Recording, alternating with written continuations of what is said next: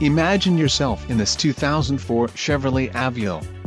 If you are looking for a first-rate auto, this one could be yours today. This vehicle comes with a reliable four-cylinder engine, connected to a smooth shifting automatic transmission.